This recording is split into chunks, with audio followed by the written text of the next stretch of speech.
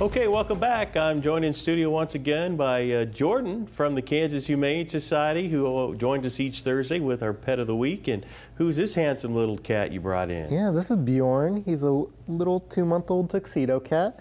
Um, you can see the white on his chest. He's very, very cuddly. Um, pretty calm boy, and uh, he can't wait to invade France. So we wish him luck on that. Uh, but yeah, he's just a really sweet boy. He was in foster care for a while, um, and then as soon as he was two months old, came to our shelter, um, got uh, his neuter surgery, and you know he's available.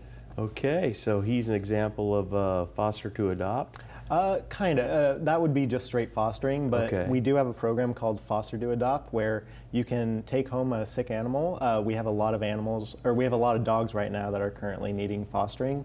Um, so what that is is you would take it home, you could foster it, and then as soon as the coughing or whatever subsides, you could fully adopt it. So we treat our foster to adopts exactly like we do our fosters. We t- Okay. uh, send them home with food, uh, access to medical care, all that.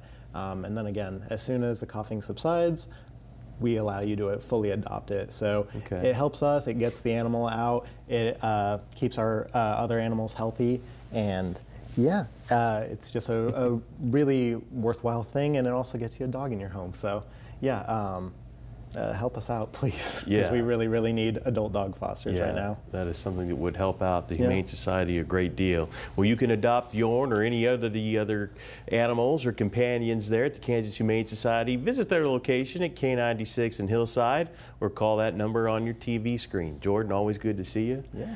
Bjorn, good luck to you. We'll be right back.